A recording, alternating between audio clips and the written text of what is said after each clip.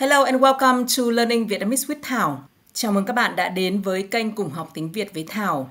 In the podcast today, we will listen to the pressure to get married, have children, and the concept of leftover woman for Vietnamese women. Áp lực lấy chồng, sinh con và khái niệm gái ế của phụ nữ Việt Nam. Xin chào các bạn, chào mừng các bạn đã quay trở lại với kênh podcast của tôi. Hôm nay chúng ta sẽ bàn luận về một chủ đề quen thuộc nhưng vẫn còn nhiều tranh cãi và thách thức đối với phụ nữ Việt Nam, đó là áp lực lấy chồng, sinh con và khái niệm gái ế. Trong xã hội hiện đại, nơi mà phụ nữ ngày càng có nhiều lựa chọn về cuộc sống cá nhân và sự nghiệp, áp lực về việc lập gia đình và sinh con vẫn là một vấn đề lớn. Hãy cùng tôi khám phá nguyên nhân của áp lực này và cách phụ nữ Việt Nam đang đối mặt với nó.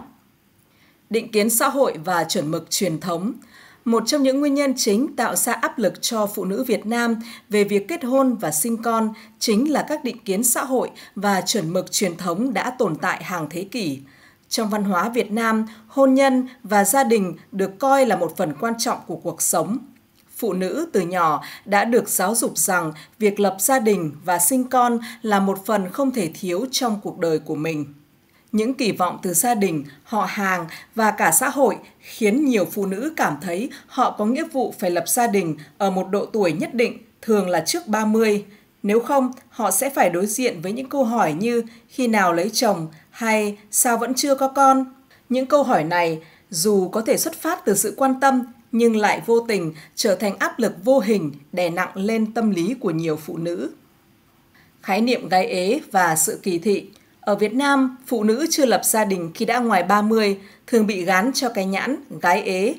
Cụm từ này chứa đựng hàm ý tiêu cực, ám chỉ rằng một người phụ nữ chưa kết hôn ở độ tuổi này là bị bỏ lại hoặc không ai muốn. Điều này không chỉ phản ánh sự kỳ thị đối với phụ nữ độc thân mà còn tạo ra áp lực rất lớn lên họ trong việc tuân theo các quy chuẩn xã hội. Tuy nhiên, nhiều phụ nữ hiện đại đang dần nhận ra rằng việc lập gia đình không phải là thước đo duy nhất của sự hạnh phúc. Họ muốn dành thời gian để phát triển bản thân, theo đuổi sự nghiệp hoặc chỉ đơn giản là muốn có cuộc sống tự do trước khi cam kết với hôn nhân và trách nhiệm gia đình. Nhưng tiếc rằng xã hội vẫn chưa hoàn toàn chấp nhận tư tưởng này và điều đó tạo ra một sự căng thẳng giữa mong muốn cá nhân và kỳ vọng xã hội. Áp lực từ gia đình và sự so sánh gia đình đóng vai trò quan trọng trong cuộc sống của mỗi người Việt Nam và đối với phụ nữ, áp lực từ gia đình về việc kết hôn và sinh con là điều khó tránh khỏi. Thông thường, bố mẹ, ông bà lo lắng rằng con gái của mình sẽ không có mái ấm gia đình hoặc không sinh con sớm, dẫn đến việc không thể chăm sóc cho thế hệ sau. Những dịp lễ, Tết hay các buổi họp mặt gia đình là khoảng thời gian mà nhiều phụ nữ chưa lập gia đình phải đối mặt với các câu hỏi quen thuộc, bao giờ lấy chồng, sự so sánh với bạn bè cùng trang lứa hoặc những người họ hàng đã có gia đình khiến phụ nữ cảm thấy áp lực hơn bao giờ hết. Thay vì tập trung vào hạnh phúc cá nhân và sự phát triển sự nghiệp, họ phải đối mặt với những câu hỏi về chuyện hôn nhân từ gia đình. Sự thay đổi trong suy nghĩ của phụ nữ hiện đại, mặc dù áp lực lấy chồng và sinh con vẫn còn tồn tại mạnh mẽ, nhưng nhiều phụ nữ Việt Nam hiện đại đã có những thay đổi trong tư duy, Họ nhận ra rằng việc lập gia đình không phải là điều kiện tiên quyết để cảm thấy hạnh phúc và thành công. Ngày càng nhiều phụ nữ lựa chọn theo đuổi sự nghiệp, giáo dục và sở thích cá nhân trước khi cam kết vào hôn nhân.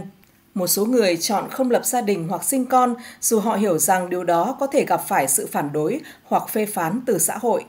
Tuy nhiên, những phụ nữ này tự tin với quyết định của mình và biết rằng hạnh phúc không chỉ phụ thuộc vào việc tuân theo những chuẩn mực truyền thống. Làm thế nào để đối mặt với áp lực? Vậy làm sao để phụ nữ có thể đối mặt với áp lực lấy chồng, sinh con mà vẫn giữ được sự bình an trong tâm hồn? Một trong những cách quan trọng là học cách lắng nghe chính mình và xác định những điều thực sự quan trọng đối với bản thân. Không ai có quyền quyết định cuộc đời của bạn ngoài chính bạn. Ngoài ra, sự ủng hộ từ gia đình và bạn bè cũng rất quan trọng. Khi phụ nữ cảm thấy bị áp lực, họ nên chia sẻ cảm xúc của mình với những người thân thiết giúp họ hiểu được những mong muốn và quan điểm cá nhân.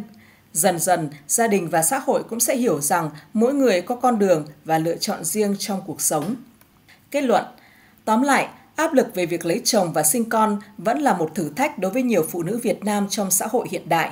Tuy nhiên, với sự thay đổi trong tư duy và sự tự tin vào bản thân, phụ nữ đang ngày càng khẳng định được vị thế và quyền quyết định cuộc sống của mình.